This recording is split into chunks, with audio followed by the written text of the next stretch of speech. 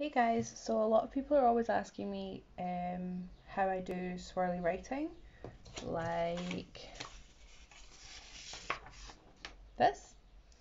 And I thought I would give you a very quick lesson on how I do it so that if you want to start practicing, you can get good. The only really, the only way you can really get good at this is to practice and practice and practice. Um, I have spent a lot of time diddling and practicing doing swirly writing. But there is a really simple way to make swirly writing look a little bit better, which I'm going to show you right now.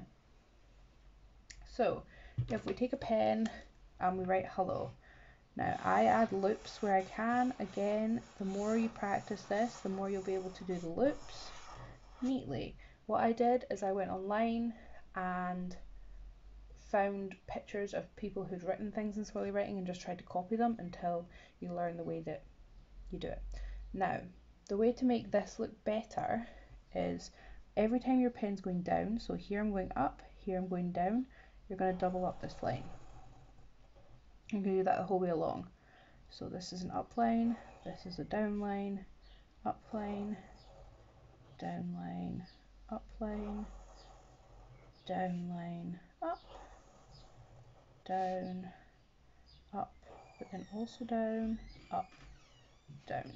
And then just colour in those down lines. Or leave them blank if you think that looks cool.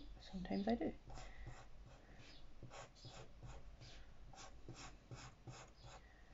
And that is a super simple way to make it look 10 times better with very little effort.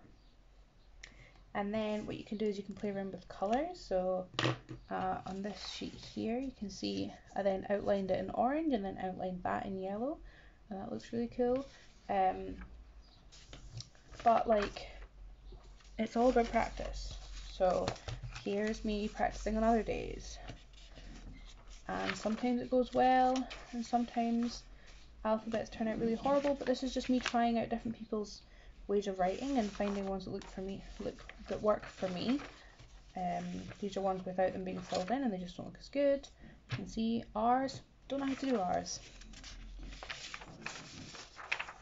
Hey there sunshine, quite like that one. Could be neater, but I just copied someone else's way of looping the S's, which I've always really struggled with. All about practice. You're not going to be an incredible um, swirly writer without practice but give it a go. It's I really enjoy it. I find it really calming for me.